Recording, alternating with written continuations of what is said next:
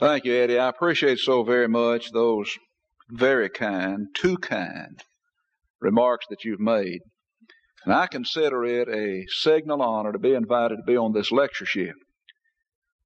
I have always felt that there are at least a thousand preachers in Texas that could do a much better job than I could do on this program. But I suppose that every lectureship needs to have somebody on it from east of the Mississippi, and I'm delighted to have the opportunity of being here. This lectureship has gained the reputation throughout the Brotherhood of being at least one of the very finest lectureships conducted by our brethren each year. And I certainly would concur with that, although I'm a little bit reluctant to make comparisons. Sometimes they're a little dangerous. I'm reminded of a young fellow who came into the courthouse bringing a marriage license, and he asked the clerk, can I get the girl's name changed on this license? I found another one that I like a little bit better than I do this one. And she said, No, you'll just have to buy a new license. And he said, How much will that cost? And she said, Five dollars. He thought for just a moment and then turned and walked out and was heard to say as he left, Well, I just don't believe there's that much difference in those two girls.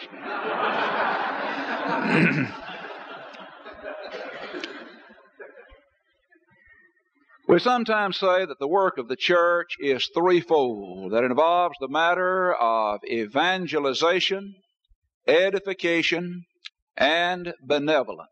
And that's true. We work in those three areas. But as Brother Whitten has pointed out so very clearly, the mission of the church is not threefold, but it is onefold.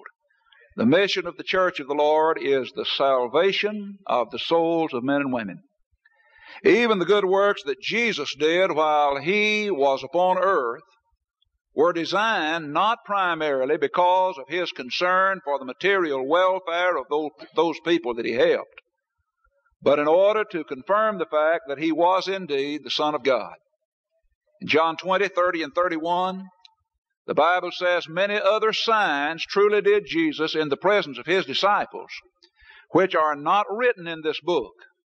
But these are written that you might believe that Jesus is the Christ, the Son of God, and that believing you might have life through his name. Our Lord performed the miracles that he performed in order to establish his identity as the Christ, the Son of God, and not primarily because of the fact that he wanted to feed those who were hungry, give sight to the blind, heal those who were lame, or raise the dead. He was interested in the salvation of souls. Now, that's not to say that our Lord is not concerned with the material needs of people. It's not to say that He doesn't care about sick people. He doesn't care about those who are poor or those who are hungry. Because He does. And I think that there's nothing more clearly taught in the Word of God than the fact that God is concerned about our material welfare. Psalm 140, uh, Psalm 14 and 6 says that the Lord is the refuge of the poor. Psalm 36 and 5, 35 and 10 says that the Lord delivers the poor and the needy from him who would spoil them. Psalm 40 and 17 tells us that the Lord thinks upon the poor and needy. The law of Moses contains a number of different ordinances which show us God's concern about those who are poor those who are needy. For example, if you were living under the law of Moses, some fellow came to you and wanted to borrow some money, and he pawned his coat or his bed to you. The law of Moses requires that before dark came each night, you would have to give it back to him. You wouldn't be allowed to keep it overnight because the Lord was concerned about those who were poor. He wouldn't want this man to have to sleep if he were cold. And so you'd have to give him his coat or his bed back before night time comes, according to Deuteronomy 24 and 13. One year in seven, the sabbatical year, the land was not to be worked. It was to be left lying out. And one of the reasons stated for that was simply because of the fact that the Lord wanted to take care of those who were poor. Exodus 23 verses 9 to 11. You're familiar with the fact that under the law of Moses, the Jews were not to gather the corners of their fields. And they were not to glean their fields. They were not to glean their vineyards. If they went through their wheat fields and uh, gathered up the wheat and some of it fell behind, they were forbidden to pick up that which they dropped. They couldn't gather all of it. And they couldn't go back and gather it again the second time. And it is specifically mentioned that the reason that they had to leave a part of their field was because of the fact that God was interested in those who were poor. Leviticus 19 verses 9 and 10. And certainly we understand that many of the good deeds of our Lord prove that He was concerned about those who were poor and needy, though that was not the primary reason for His performing those good deeds. Matthew 14 says, And Jesus went forth and saw a great multitude and was moved with compassion toward them, and he healed their sick. He was moved with compassion. A leper came to Jesus and said, If thou wilt, thou canst make me clean. Jesus was moved with com- compassion, the Bible says. And he put forth his hand and touched him, and saith unto him, I will. Be thou clean. Mark 1, 40 and 41. In Matthew 15 and 32, the Bible tells us that Jesus saw the multitude and that he had compassion upon them because they had nothing to eat. It was on this occasion, this is one of the occasions at least, whenever the Lord fed the multitude, performed a miracle in order to do so. Jesus came into the city of Nain or Nain and he met a funeral procession. The only son of a widow had died. And the Bible tells us when the Lord saw her, he had compassion on her. And as a result of that compassion, of course, he raised that son from the dead. That's in Luke chapter 7. There's no question that our Lord is concerned about the welfare of people. In Luke chapter 10, the Bible tells us about the Good Samaritan. We've given him that name. He's not called the Good Samaritan in that chapter. But you're familiar with the story how that a certain man was going down from Jerusalem to Jericho and fell among thieves who beat him and robbed him and stripped him of his clothing and left him for dead. Priest and a Levite came by, and both of them saw the man, but neither one of them rendered any assistance to him. The Bible tells us that this Samaritan came along, and you'll notice that the Bible specifically says that when he saw him, he had compassion. The point that I'm trying to make is that the Bible emphasizes the fact that the people of God need to be a feeling people. We need to be a caring people. We must be a compassionate people. In Acts chapter 6, in connection with the selection of those men that we believe were what we call the very first deacons in the Lord's church, it was because of the fact that some of those people in the church at Jerusalem were being neglected. There needed to be something done to see to it that they were taken care of. I like the way that that was handled. The apostles said, Select from among you seven men. You select the people. You people who feel that your people are being neglected, you select the man, and then whoever you select, we will appoint over this business. They were concerned, they were interested in the situation which had existed and which had caused the problem. When Paul and Barnabas went up to the uh, city of Jerusalem about the question of circumcision, one of the uh, thing uh, those who were pillars in the church at Jerusalem were careful to remind them of was that they remember the poor. And in Galatians chapter 2, the Apostle Paul said, I was already forward to do that. Is it significant that of the things which we are told after they went up there, and this is probably the event in Acts chapter 15, one of the things that they were specifically told as they went preaching to the Gentiles was to remember the poor. Be concerned about people who are less fortunate. In Matthew 25, the judgment scene gives us a picture of people who were on the right or who were on the left. And the thing in this particular picture of the judgment that determined whether one was on the right or on the left was whether or not he fed the hungry, whether or not he gave drink to the thirsty, whether he clothed the naked, whether he visited those in prison, and so forth. In other words, the Lord emphasizes the fact in this picture of the judgment that the people of God must be people concerned about the welfare of their fellow man.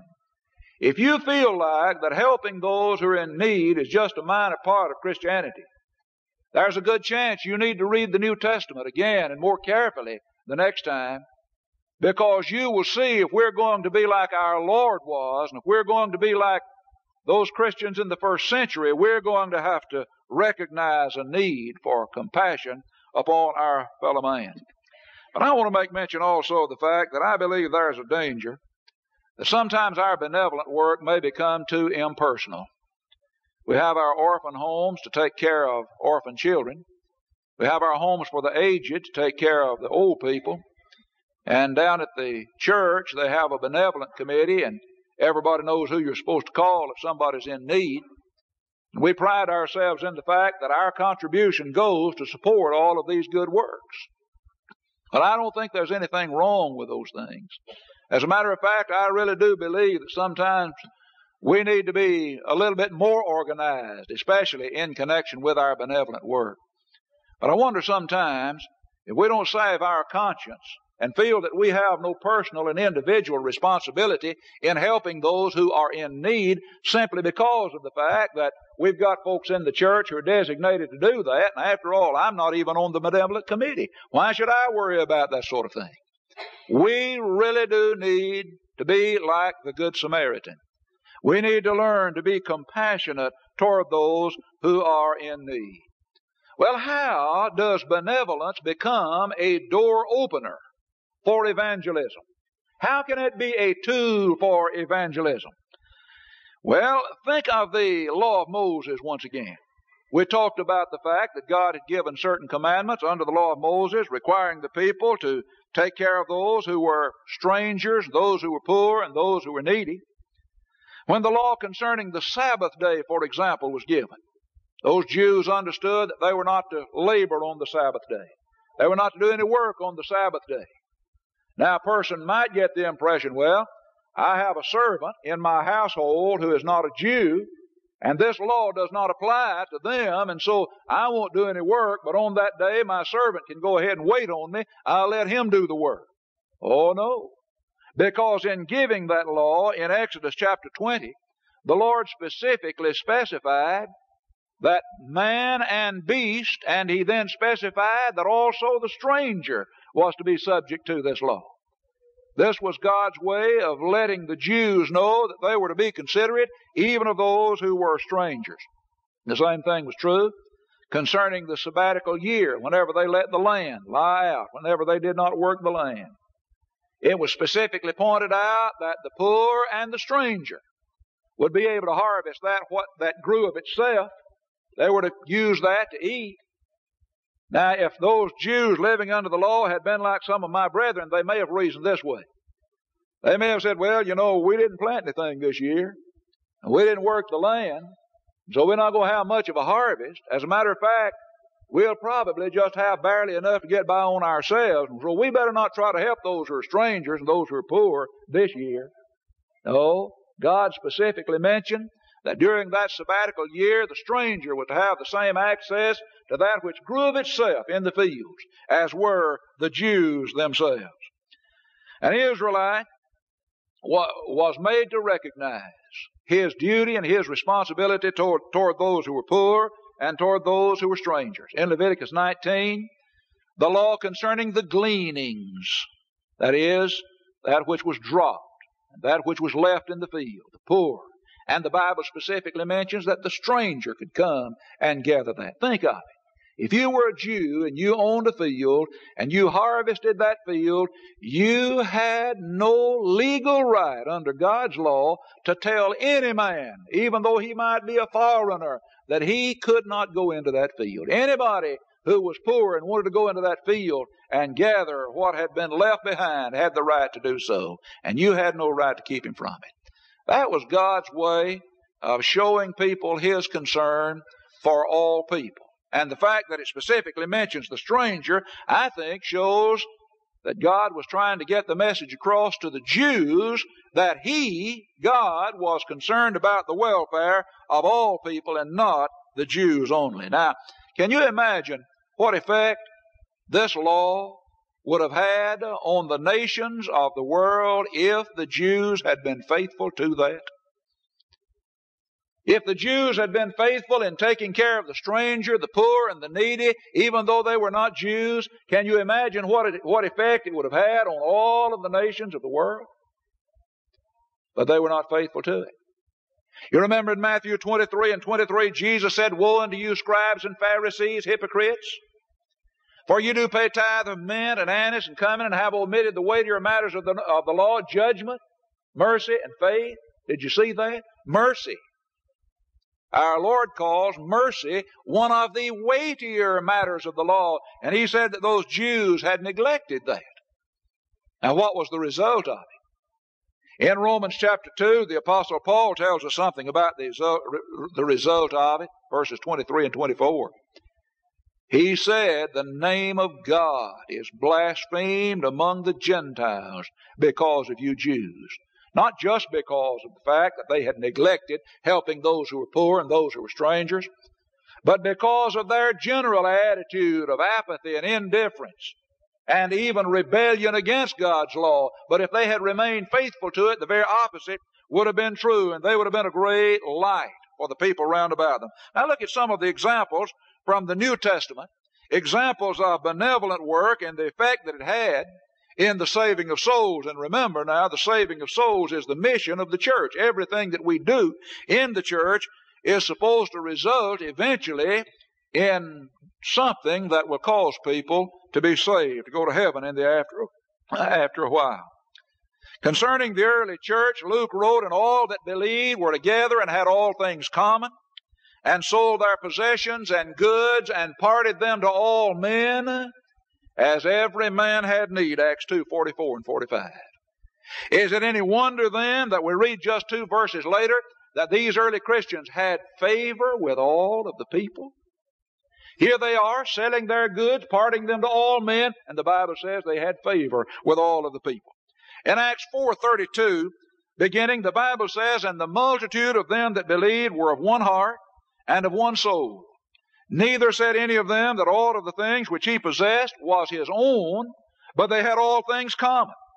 And with great power gave the apostles witness of the resurrection of the Lord Jesus, and great grace was upon them all.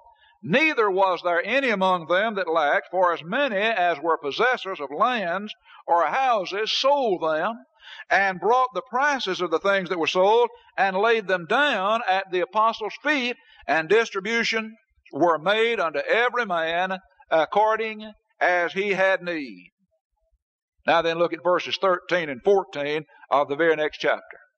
These verses tell us that the people magnified them and that multitudes of believers, both men and women, were added to the Lord. What do you suppose would be the result in the church in Fort Worth and all of Texas and even over in Alabama today if we would practice that same thing. Do you suppose that multitude of men and of women would also become believers as a result of that kind of an attitude? In Acts 11, 29 and 30, the Bible says, Then the disciples, every man according to his ability, determined to send relief unto the brethren which dwelt in Judea, which also they did, and sent it unto the elders by the hands of Barnabas and Saul. Now then, in the very next chapter, in the very same paragraph where it tells us about the return of Barnabas and Saul from Jerusalem, when they had taken this contribution up there, the Bible says the Word of God grew and multiplied. Are you surprised at that? Why, this is no doubt one of the reasons why the Word of God grew and multiplied. In 2 Corinthians chapters 8 and 9, we have a lengthy and a very beautiful discussion of the matter of a contribution which was made by the Gentile churches for the saints which were in Judea, or as the Bible puts it, for the poor among the saints in Judea. This was benevolent work. And in connection with this benevolent work, in which so many people, especially so many of the Gentile churches, were involved, the Apostle Paul wrote in verse 14 of chapter 9 that as a result of this benevolent work, some people were caused to glorify God. Does that remind you of something that Jesus said in Matthew chapter 5 when he was talking to those who would be members of the church when the church was established? And he said, Ye are the salt of the earth. But if the salt have lost its savor, wherewith shall it be salted? It is thenceforth good for nothing but to be cast out, to be trodden under foot of men. Ye are the light of the world. A city that is set on a hill cannot be hid. Neither do men light a candle and put it under a bushel, but on a candlestick, so that it giveth light to all that are in the house. Now watch it. Let your light so shine before men, that they may see your good works and glorify your Father which is in heaven.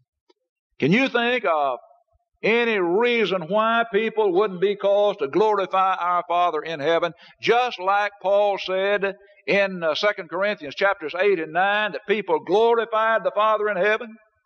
If we would engage in the very same kind of benevolent work that those people engaged in, I really think that we're overlooking a great opportunity by failure to engage in benevolent work. But I want to talk just a moment about benevolent work to the saints only. Of course, as you know, there are some who several years ago came up with the idea that the benevolent work of the church is to be limited to the saints.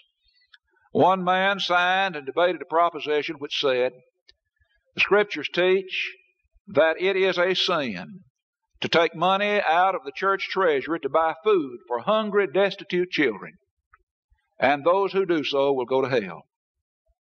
Now, a number of preachers who agreed exactly with what this man who signed the proposition believed will say that that was a ridiculous proposition, a silly proposition, implying that they don't really believe that. And maybe they don't, but I'll tell you what. You word the proposition this way and see how many of them will deny it. The scriptures teach that it is a sin to take money out of the church treasury to buy food for hungry, destitute children who are not members of the church. And those who do so will go to hell. You can't get them to, to deny that. The only reason that they say it's silly is because they believe the church can buy food for hungry, destitute children who are church members. It's still the doctrine of saints only that the church cannot, cannot help any except those who are saints in a benevolent way. Now, of course, I realize that what we've learned from the Old Testament about the fact that the people of God's helping strangers does not prove that the church of our Lord is to help those who are not members of the church. I realize that. But I'd like for you to think with me for just a minute. Is it a fact that the reason God, under the law of Moses, gave command that the poor people among the strangers were to be objects of the pity and the care and the concern and the compassion of His people was in order that all of the people of the world might come to glorify the Father in heaven. Are we right in saying that? Well, now, if that's the case, then what about benevolence under the New Testament? Why, if this doctrine of benevolence for saints only is true, then benevolent work could never be a door opener to evangelism. As a matter of fact, it would have the very opposite effect. Do you know of any organization that engages in benevolent work that limits its benevolent work to the members of that organization? The denominational churches do not do so. Well, they help everybody that they have an opportunity to. Even the civic organizations do not limit their benevolent work to their own members. For example, over where I live, the Lions Club is pretty strong, and around Christmas time, they de- deliver food baskets to poor and indigent people. They buy glasses for people who are poor and who need glasses. They uh, help people who are in need.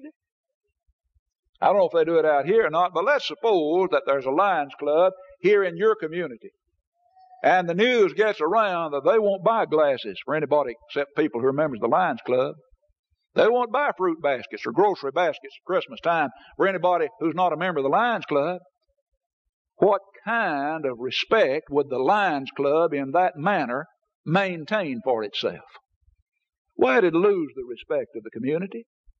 But that's the very position that some of my brethren believe that the church of the Lord ought to occupy. That's completely foreign, completely opposite to what the Bible teaches, and I think teaches quite clearly in relation to this particular matter. For example, in Galatians 1 and 2, the Apostle Paul wrote to the churches of Galatia. In Galatians 6 and 10, the Apostle said, As we have therefore opportunity, let us do good unto all men. Paul, what'd you say? I said, let's do good to all men, especially unto them who are the household of faith. Do good to whom? To all men. Paul, who are you writing to? To the churches of Galatia. What are those churches to do? They're to do good to all men. Who's to do good to all men? The churches of Galatia. Who are those churches to do good to? All men. Now, question.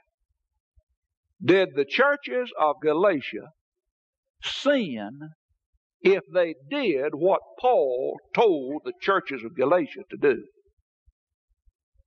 Or did they sin if they refused to do what Paul told the churches of Galatia to do? James 1.27 says pure religion and undefiled before God and the Father is this, to visit the fatherless and widows in their affliction and to keep himself unspotted from the world. Now, I realize that this is not the sum total of pure religion, but this at least gives us one definition of pure religion. Tells us what is involved in pure religion. What does it say? It says, visit the fatherless and widows in their affliction. Somebody said, oh, but that's written to the individual. Now, I doubt that it could be proved that that was written exclusively to the individual, but now what I'm saying is that that's beside the point. The point is, here is a passage which tells us something that's involved in pure religion. I want to know can the Lord's church practice pure religion? Or does the Lord's church sin if it does practice pure religion? Does a church sin if it practices pure religion, or does it sin if it refuses to practice pure religion? Is pure religion visiting the fatherless and the widows to the individual, but not visiting the fatherless and the widows to the church. Is pure religion one thing to the individual and the very direct opposite of that to the church? Well, it seems to me that to ask the question would certainly answer that question. Our Lord said in Matthew 5 and 43, Ye have heard that it hath been said by them of old time, Thou shalt love thy neighbor and hate thine enemy. But I say unto you, love your enemy. Bless them that curse you. Do good to them that hate you. Pray for them which despitefully use you and persecute you. Does that sound like the saints only doctrine? Now he said, if you'll do so, you'll be the children of your Father in heaven because he sends his, makes his sun to shine on the evil and on the good, sends his rain on the just and on the unjust. Well, it said, if you salute your brethren only. You're no better than the publicans. Our Lord said that those who saluted their brethren only, who do good to their brethren only,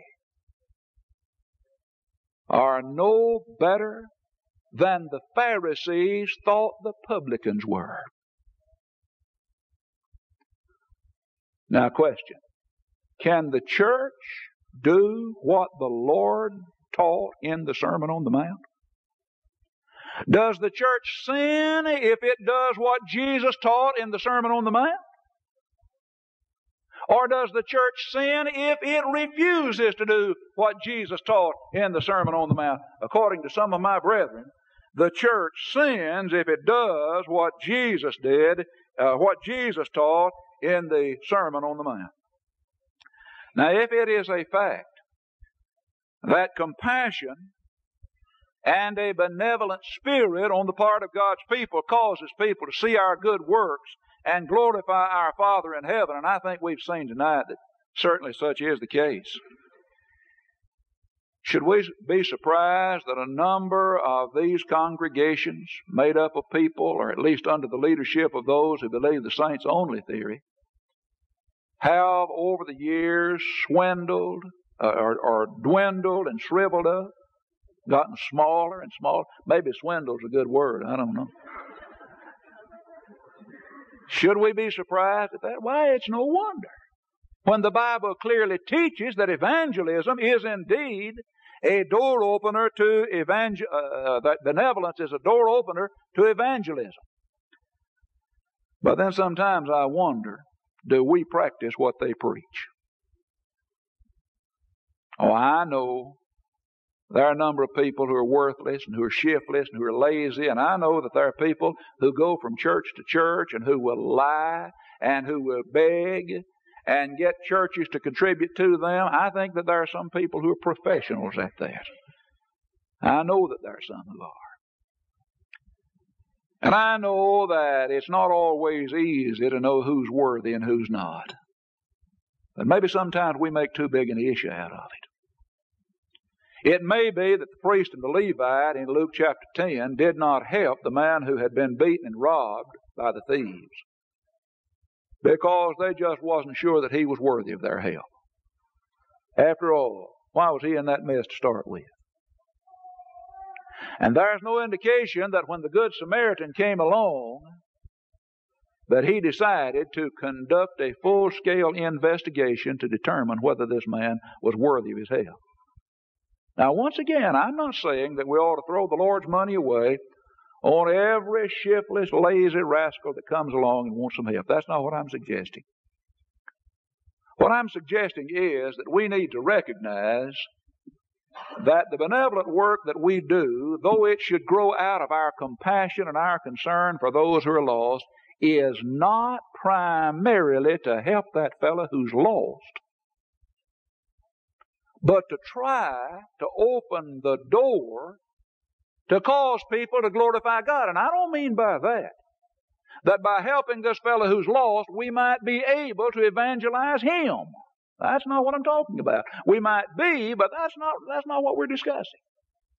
We're discussing the matter that if we are the compassionate people, the caring people, the concerned people, people who reach out to help those who are in need, even those who are strangers, and if we have that kind of reputation in our several communities, it will result in people's being led to glorify God. It will open doors and permit us to have the opportunity of helping people.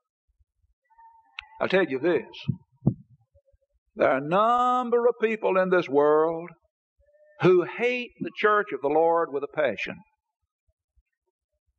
You've got some people live around here like that, and in your community like that, I'm sure. And we have over in Alabama.